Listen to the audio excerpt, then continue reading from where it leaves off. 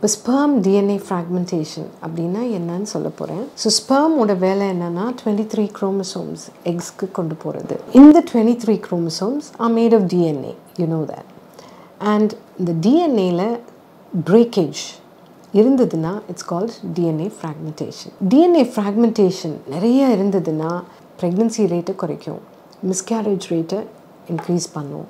And IVF பண்ணும்போது எங்களுக்கு நல்ல எம்ப்ரியோஸ் கிடைக்காது. ஸோ யூஸ்வலாக இதை கரெக்ட் பண்ணுறது இம்பார்ட்டண்ட் அதுக்கு முன்னாலே எதனால டிஎன்ஏ ஃப்ராக்மெண்டேஷன் வருதுன்னா அதுக்கு நிறைய காசஸ் இருக்குது ப்ரிவென்டபிள் அவாய்டபிள் காசஸ் என்னென்னா exposure to endocrine disrupting chemicals பற்றி பேசினேன். அது வேரிகோசீல் நிறைய வெயின்ஸ் டெஸ்டஸில் இருந்தால் டிஎன்ஏ ஃப்ராக்மெண்டேஷன் இன்க்ரீஸ் பண்ணலாம். And smoking alcohol life style இதெல்லாம் வெயிட் இன்க்ரீஸ் இதெல்லாம் டிஎன்ஏ ஃப்ராக்மெண்டேஷனை இன்க்ரீஸ் பண்ணலாம். So these are all avoidable factors இது இல்லாமல் நாங்கள் டெஸ்ட் பண்ணும்போது டிஎன்ஏ ஃப்ராக்மெண்டேஷன் ஹையாக இருந்தால் we treat the patient before IVF to repair the sperm